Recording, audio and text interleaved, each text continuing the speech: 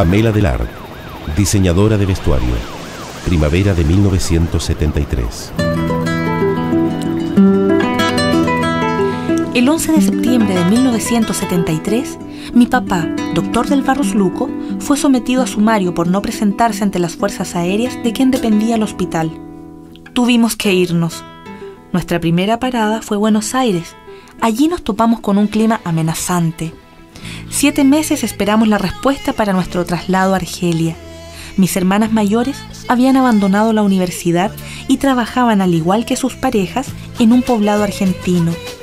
En diciembre de 1974 partimos rumbo a Argelia. Mis hermanas se quedaron, eran del MIR y era demasiado difícil para ellas abandonar en esos momentos Latinoamérica. En Argelia yo me transformé en un adolescente fuerte. Llevaba el pelo corto y la parada desafiante. Estaba en un país musulmán con clara desventaja para las mujeres. Recuerdo que las casas tenían sus ventanas celestes para espantar los malos espíritus.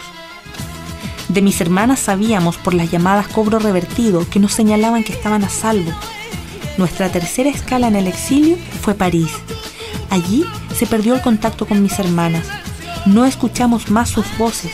Mi padre recibió un llamado informándole que estaban desaparecidas. A veces sueño con ellas y como si estuviera protegida por las ventanas celestes de Argelia, ningún mal espíritu se cuela en nuestro encuentro logro ver a una de ellas a la sombra de un gran árbol sobre una caja de fruta. Es allí, en ese Chile de sueños, que podemos reencontrarnos.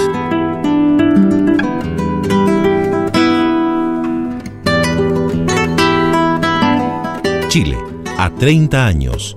Fragmentos de la memoria.